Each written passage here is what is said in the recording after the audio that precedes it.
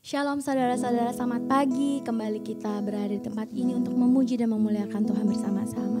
Mari kita buka hati kita, kita siapkan hati kita untuk selalu menyembah Tuhan dan serahkan hati kita kepada Tuhan. Terima kasih Bapa. Terima kasih Tuhan Yesus. Kami siap Tuhan. Kami siap datang ke hadirat-Mu. Kami ingin memuji-Mu, memuliakan namamu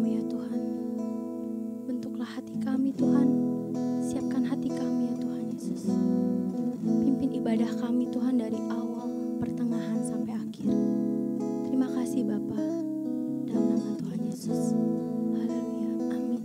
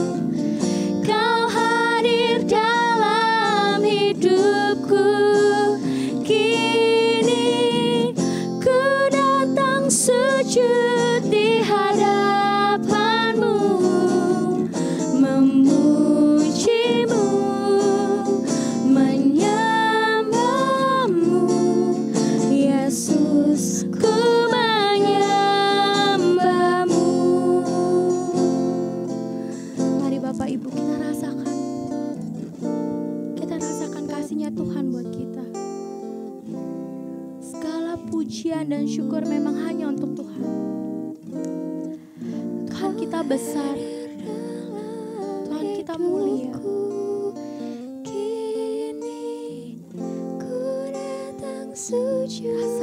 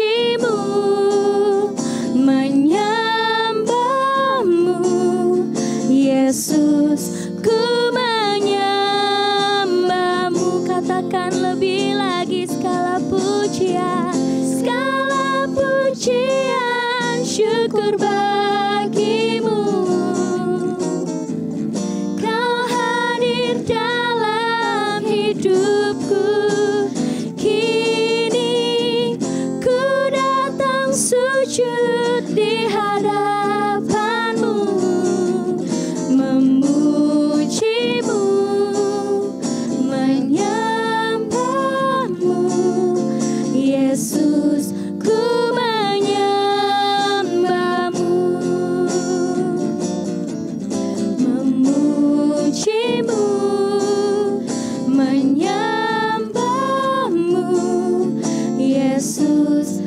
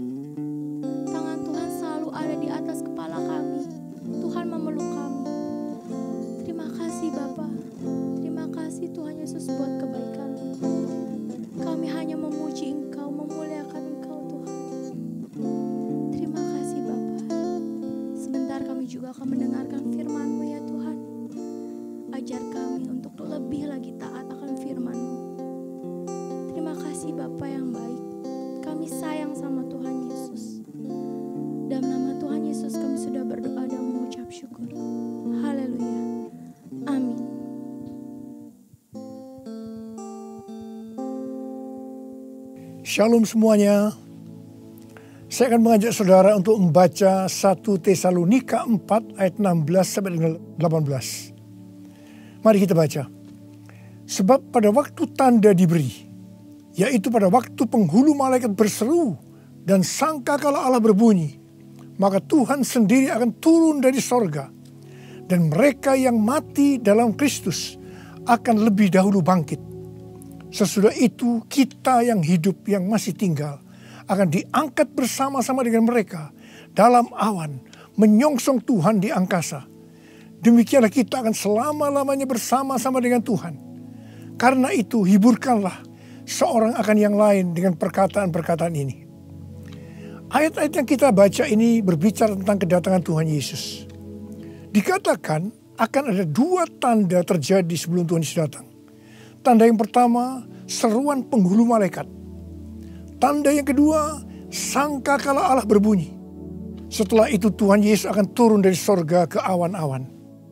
Ketika Tuhan Yesus datang di awan-awan, maka yang mati di dalam Tuhan, juga kita sebagai orang percaya yang masih hidup, akan diangkat untuk bertemu Tuhan Yesus di angkasa. Demikianlah kita akan bersama-sama dengan Tuhan Yesus selama-lamanya. Kata diangkat dalam 1 Tesalonika 4 ayat 17 diambil dari bahasa Yunani harpaso yang memiliki padanan kata dalam bahasa Latin yaitu raptu yang artinya diangkat terbawa atau diangkat ke atas. Peristiwa pengangkatan yang dijelaskan di ayat ini di dalam kitab 1 Korintus 15 menunjuk kepada pengangkatan gereja dari bumi untuk menyongsong Tuhan di angkasa. Yang terangkat adalah umat yang setia dari gereja-gereja Kristus, yaitu mereka yang menjadi serupa dengan gambar Yesus. Artinya yang terangkat adalah murid-murid Tuhan Yesus. Kebangkitan mereka yang mati di dalam Kristus seperti yang tertulis dalam 1 Tesalonika 4 ayat 16 bukan kebangkitan yang sama seperti yang tertulis dalam Wahyu 20 ayat 4. Karena peristiwa dalam Wahyu 20 ayat 4 ini terjadi setelah Tuhan Yesus datang kembali menginjakkan kaki di bumi di mana Tuhan Yesus akan membinasakan yang jahat dan membelenggu iblis. Kebangkitan dalam Wahyu 20 ayat 4 ini berkaitan dengan orang yang mati sahid dalam masa kesengsaraan besar. Seperti yang tertulis dalam 1 Tesalonika 4 ayat 16, di mana orang yang mati di dalam Kristus dibangkitkan. Maka bersamaan itu pula orang percaya yang masih hidup dalam waktu sekejap tubuhnya diubah menjadi tubuh kemuliaan. Kemudian keduanya akan diangkat bersama-sama untuk menyongsong Tuhan Yesus di angkasa. Kita bersama-sama dengan Tuhan Yesus dibawa ke sorga. Dan keluarga-keluarga Allah akan berkumpul kembali.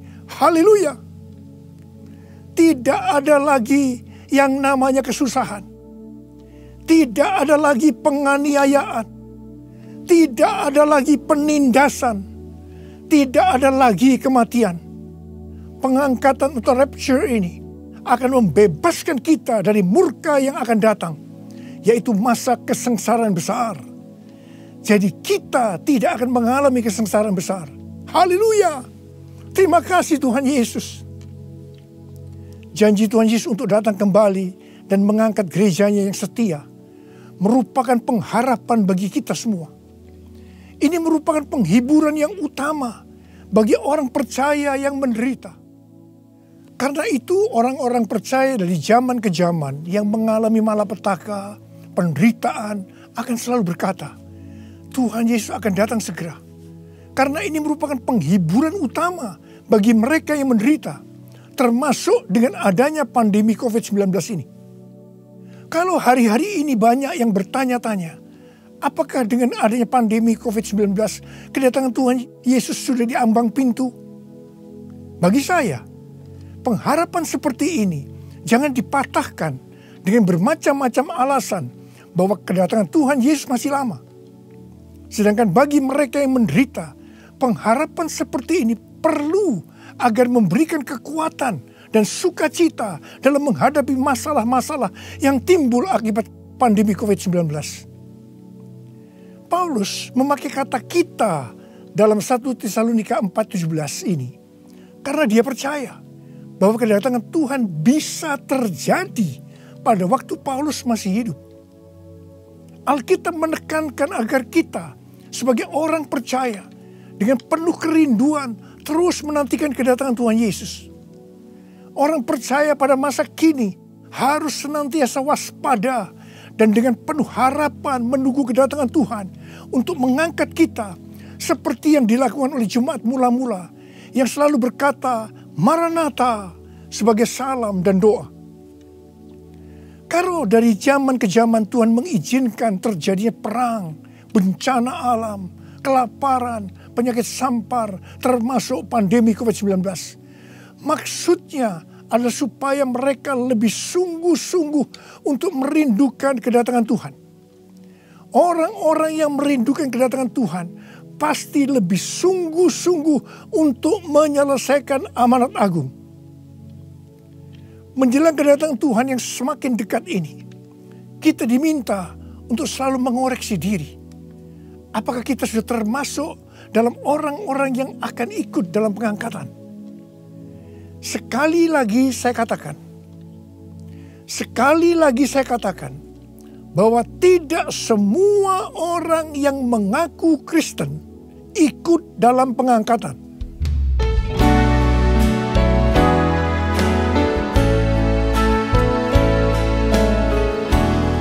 Pujilah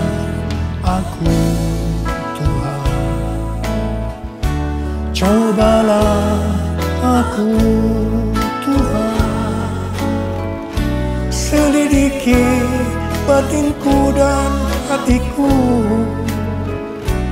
Mataku tertuju padamu. Aku cinta padamu Tuhan. Aku rindu hadiratmu Ingin selalu dekat padamu. Menikmati kehadiranmu.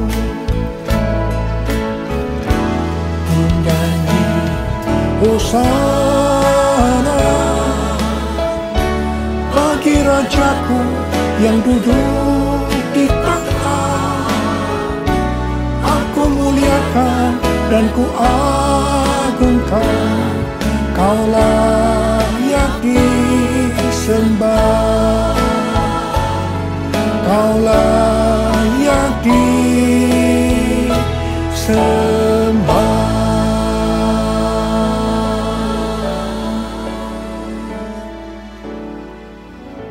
Sesuai dengan perumpamaan Tuhan Yesus tentang seorang penabur benih, maka ada empat tipe orang Kristen.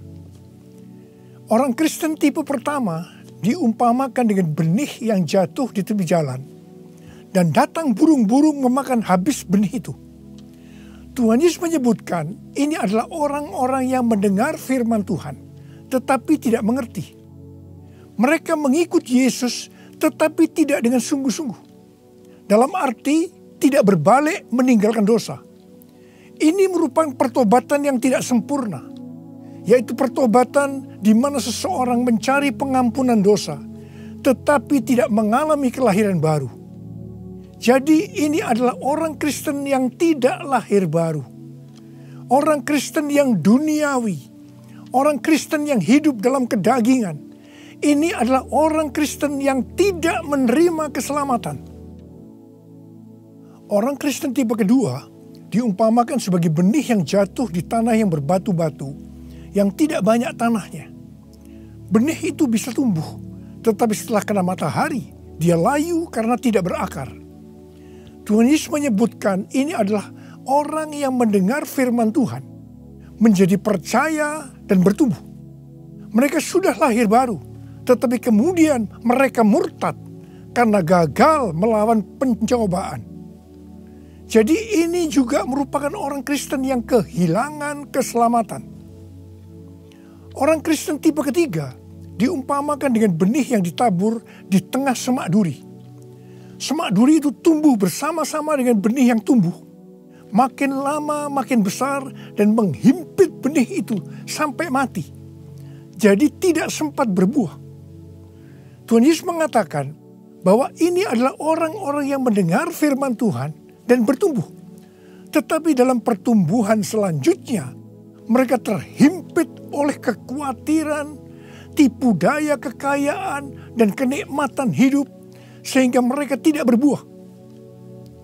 Tuhan Yesus berkata dalam Yohanes 15 ayat 1 dan 2, Akulah pokok anggur yang benar, dan Bapakulah pengusahanya. Setiap ranting padaku yang tidak berbuah, dipotongnya. Dan setiap ranting yang berbuah, dibersihkannya, supaya ia lebih banyak berbuah. Ranting yang dipotong akan jatuh ke tanah, lalu menjadi kering, dikumpulkan orang, dan dicampakkan ke dalam api, lalu dibakar. Jadi orang Kristen yang tidak berbuah akan kehilangan keselamatan. Kitab Wahyu 3 ayat 14 sampai dengan 22 merupakan pesan Tuhan Yesus kepada jemaat di Laodikia. Jemaat di Laodikia adalah jemaat yang kaya secara materi. Mereka berdagang emas, salep mata yang sangat terkenal, dan juga berdagang baju-baju. Dan mereka berkata, aku kaya dan aku telah memperkayakan diriku dan aku tidak kekurangan apa-apa. Tapi Tuhan Yesus berkata kepada mereka, Aku tahu segala pekerjaanmu. Engkau tidak dingin dan tidak panas. Alangkah baiknya jika engkau dingin atau panas. Jadi karena engkau suam-suam kuku dan tidak dingin atau panas, aku akan memuntahkan engkau dari mulutku. Jadi, tipu daya kekayaan dan kenikmatan hidup akan membuat orang Kristen menjadi suam-suam kuku dan tidak berbuah. Itu akan dimuntahkan oleh Tuhan Yesus. Artinya, mereka akan kehilangan keselamatan kalau mereka tidak bertobat. 1 Timotius 6 ayat 9 dan 10 berkata, Tetapi mereka yang ingin kaya terjatuh ke dalam pencobaan, ke dalam jerat, dan ke dalam berbagai-bagai nafsu yang hampa dan yang mencelakakan. Yang menenggelamkan manusia ke dalam keruntuhan dan kebinasaan. Karena akar segala kejahatan ialah cinta uang. Sebab oleh memburu uanglah beberapa orang telah menyimpang dari iman dan menyiksa dirinya dengan berbagai-bagai duka. Jadi hati-hati dengan tipu daya kekayaan dan kenikmatan hidup. Karena itu bisa membuat orang kehilangan keselamatan. Orang Kristen tipe keempat diumpamakan dengan benih yang jatuh di tanah yang baik. Benih itu tumbuh dengan suburnya dan berbuah.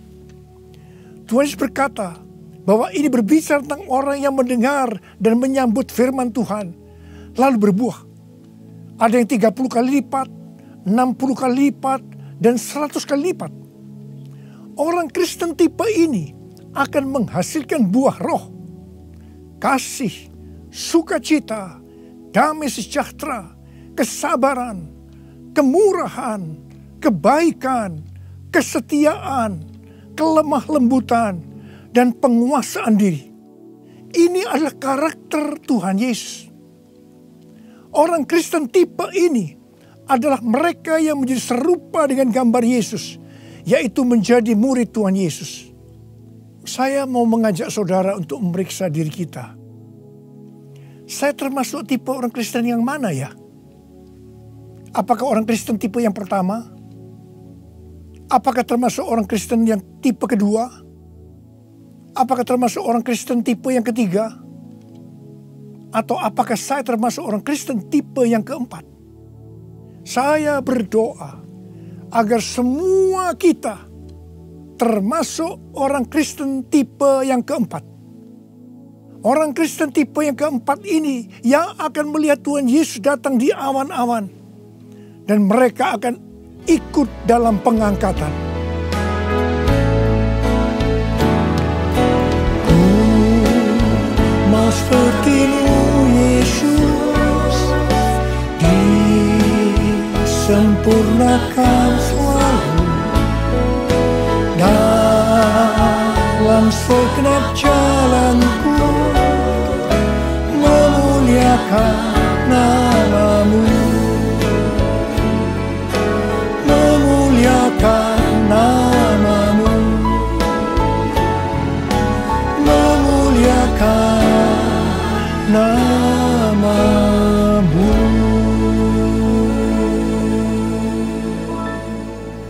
menjadi serupa dengan gambar Yesus mereka yang sudah bertobat dan percaya kepada Yesus sebagai Tuhan dan Juru Selamat akan masuk ke dalam proses pengudusan yang dilakukan oleh Roh Kudus dan Firman Allah, disertai dengan proses-proses yang kebanyakan menyakitkan bagi kedagingan kita.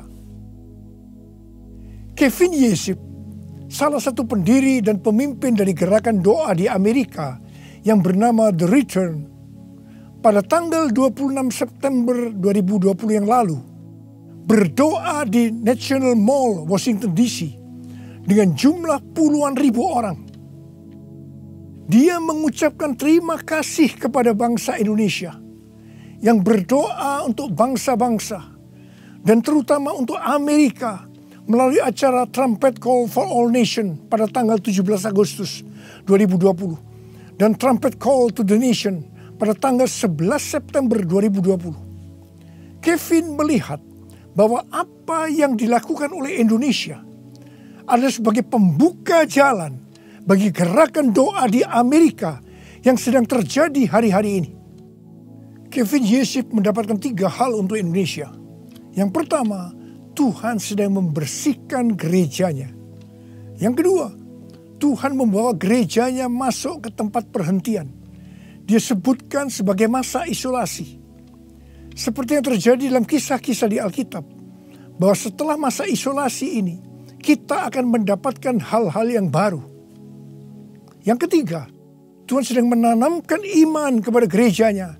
Sehingga tidak ada perasaan takut terhadap apa pun juga. Waktu saya mendengar tentang tiga hal ini, saya surprise. Karena persis seperti yang kita alami hari-hari ini melalui Tuhan menyembunyikan kita barang sesaat lamanya. Saya percaya bahwa ini adalah proses untuk membuat kita menjadi serupa dengan gambar Yesus. Saya percaya setelah proses disembunyikan barang sesaat lamanya ini selesai, kita akan melakukan tugas yang besar untuk menyelesaikan amanat agung Tuhan Yesus dengan kuasa Roh Kudus Pentakosta yang ketiga. Tuhan memberikan tema tahun 2020 sebagai tahun dimensi yang baru dengan dua ayat emas yaitu dari 2 Korintus 3 ayat 18 dan ulangan 28 ayat 13 dan 14. Sesuai dengan kedua ayat emas ini, Tuhan akan memberikan kepada kita dimensi atau ukuran yang baru dalam berkat rohani maupun berkat jasmani. Dimensi yang baru dari berkat jasmani akan mengikuti dimensi baru dari berkat secara rohani.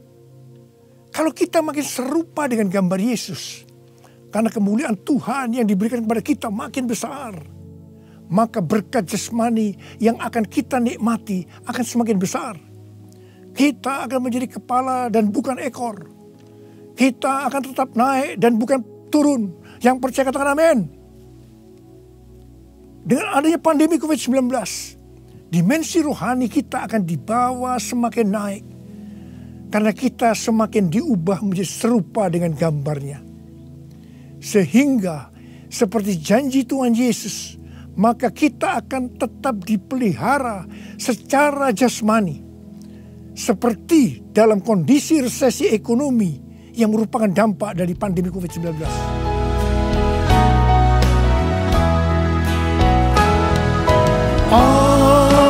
percaya. Berkatmu atasku melimpah. Kebajikan, kemurahan selalu mengikutiku. Ku puji, ku sembah kau Tuhan. Ku puji, ku sembah kau Tuhan. Ku puji, Paulus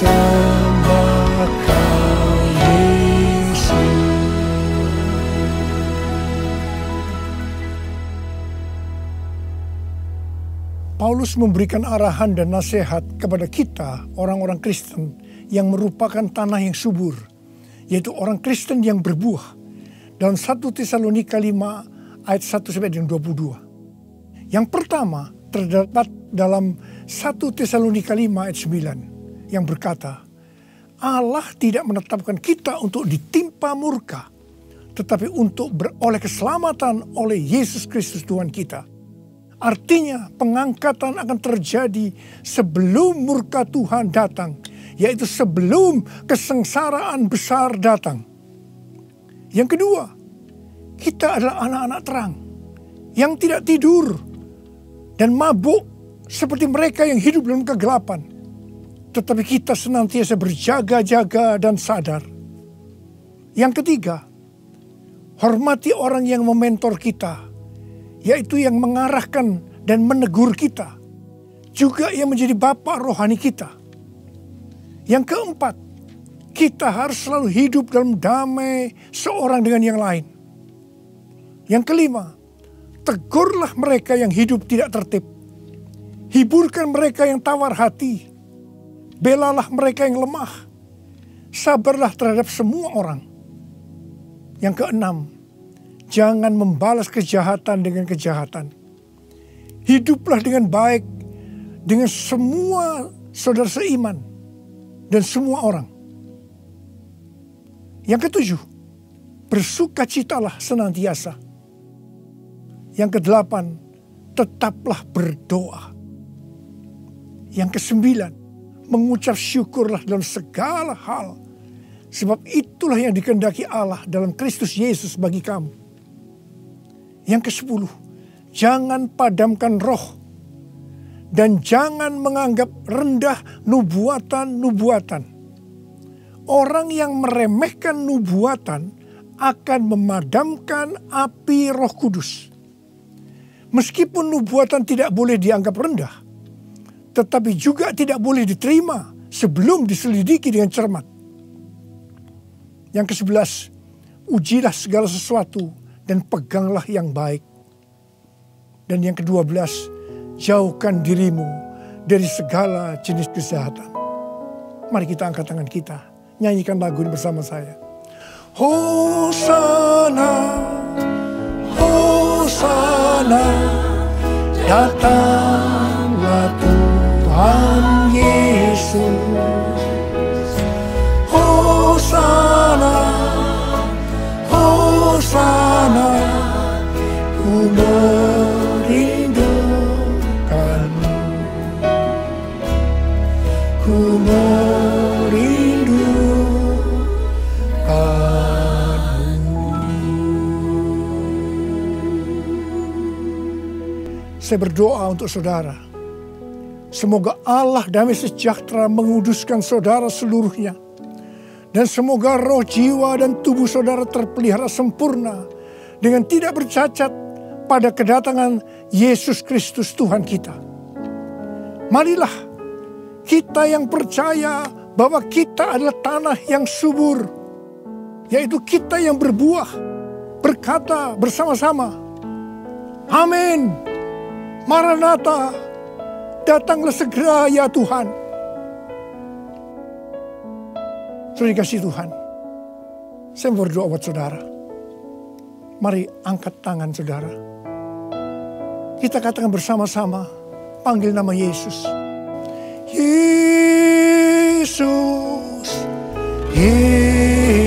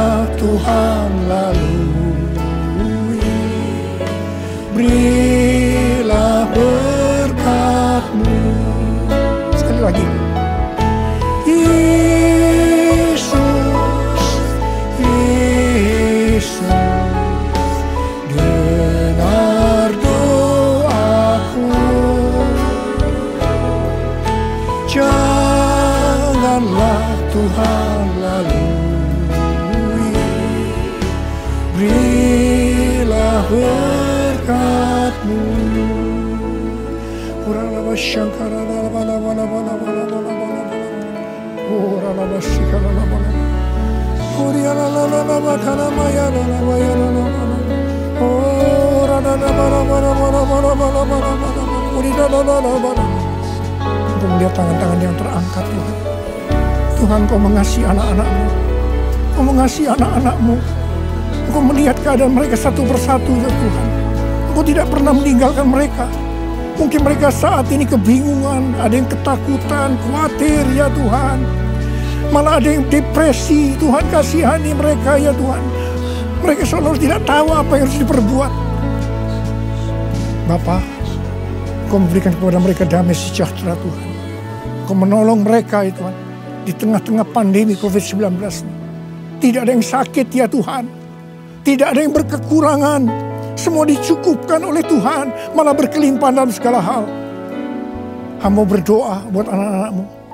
Biarlah mereka berbuah-buah dengan lebatnya. Sehingga pada saat engkau datang, mereka ikut diangkat bersama-sama dan bertemu dengan engkau, Raja di atas segala raja, di awan-awan, dan selanjutnya bersama-sama dengan Tuhan Yesus selama-lamanya. Terima kasih Abah. Yesus.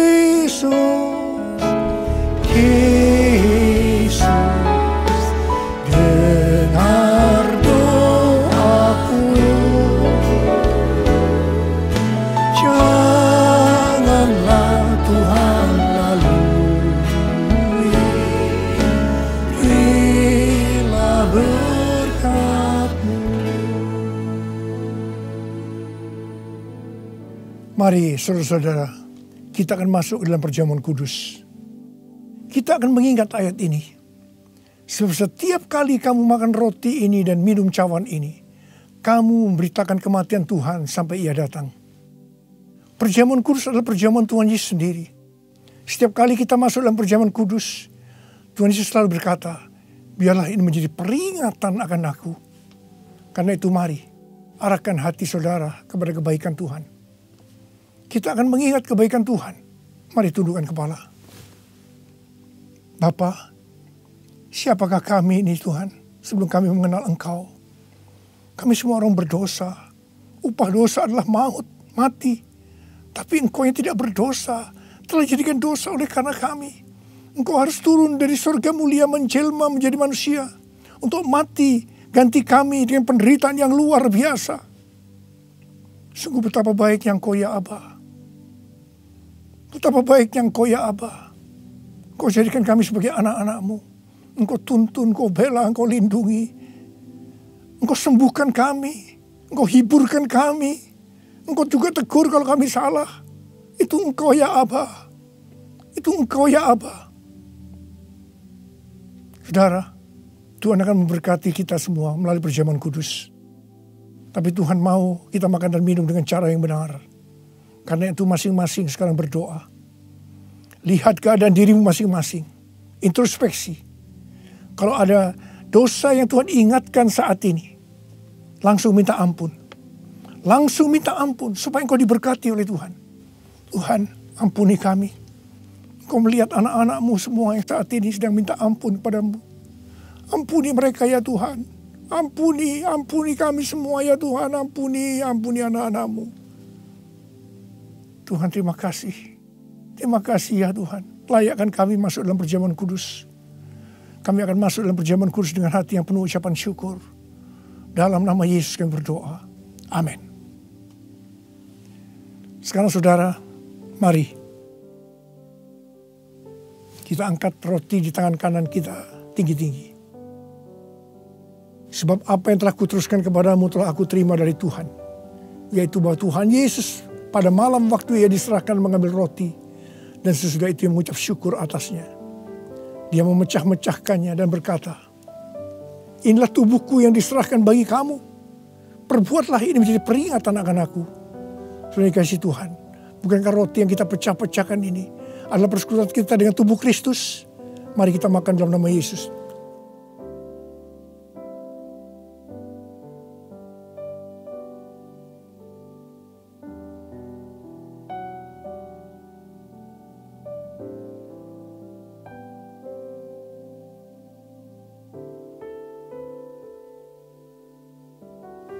Sekarang angkat cawan di tangan kanan saudara tinggi-tinggi. Demikian juga yang mengambil cawan sesudah makan lalu berkata, Cawan ini adalah perjanjian baru yang dimeteraikan oleh darahku.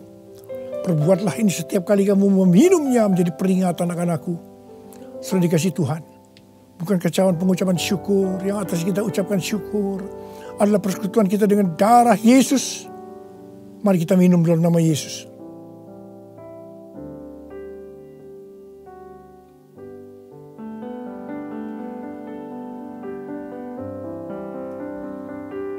Ucapkan syukur dan terima kasih. Ucapkan syukur dan, dan terima kasih dengan suara. Jangan diam. Katakan Tuhan terima kasih.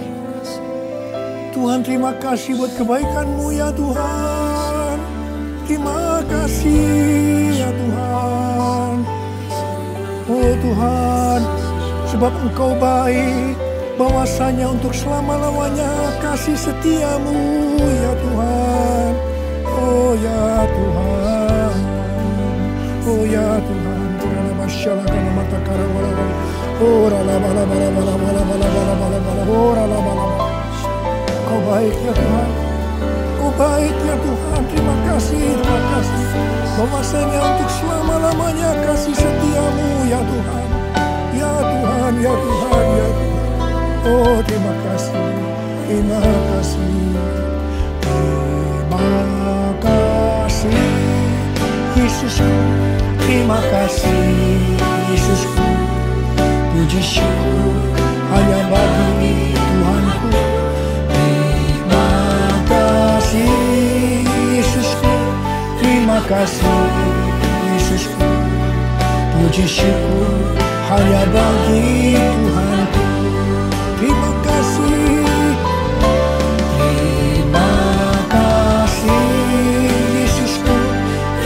kasih Yesusku Puji syukur hanya bagi Tuhanku Terima kasih Yesusku Terima kasih Yesusku Puji syukur hanya bagi Tuhanku Puji syukur hanya Tuhanku hanya bagi Tuhanku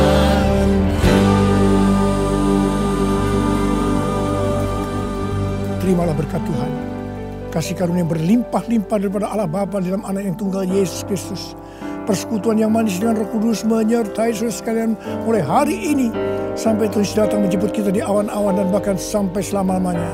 Yang percaya bersama-sama katakan amin.